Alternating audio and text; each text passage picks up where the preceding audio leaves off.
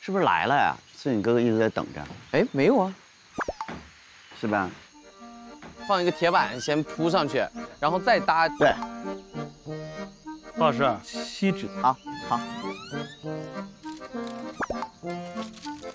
那糖醋排骨想不想再吃？想吃啊。好吧。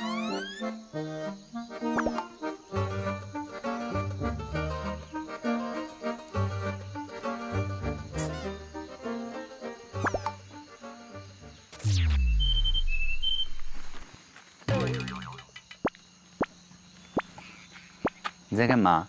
弹芭蕉。我在老实芭蕉。你老实，你老 实，你站过去，你让我们猜猜，我们哪百年能猜出来？村野生活开始了。哎，我上一次看见这个镜头是在《变形记》里面。是不是来了呀？有辆车呀？是在走过来了吗？来了来了，去接吧，打伞吧。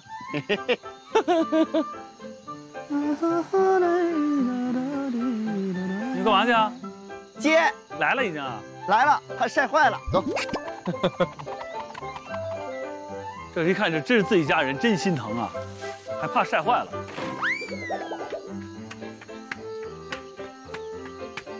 跑起来！哇！啊啊啊！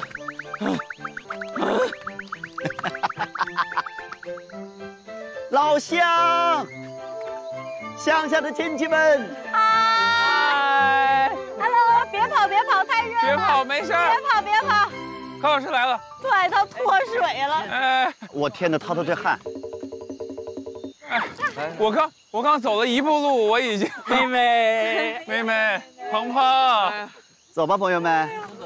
你们这是第一个有出来接的待遇的。真的吗？啊，我觉得让你们走完这条路，欣姐估计可能要躺两个小时才能缓过来。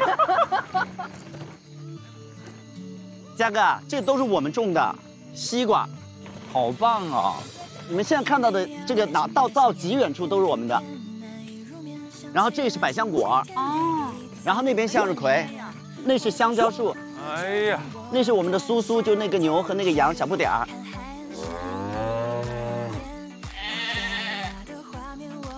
那是黄老师，你看。哎呀，黄老师，黄老师，乡下来亲戚了，乡下来亲戚了，不是应该是城里打工的，城里打工的返乡了，返乡，乡下表亲。何老师高兴了，何老师。哇，好漂亮啊，这里！欢迎来到我们的蘑菇屋。哇，欣欣，欢迎光临。